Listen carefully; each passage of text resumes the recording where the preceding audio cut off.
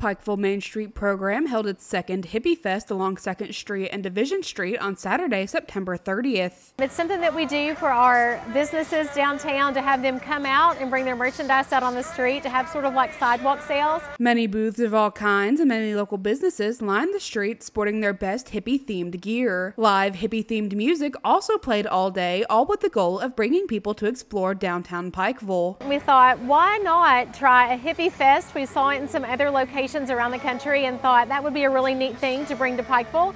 Everybody loves to get out and um, enjoy hippie inspired things and activities. So we wanted to try it last year. Turned out it was a great success, so we just expanded that this year. For future events, you can visit the Pikeville Main Street Program Facebook page.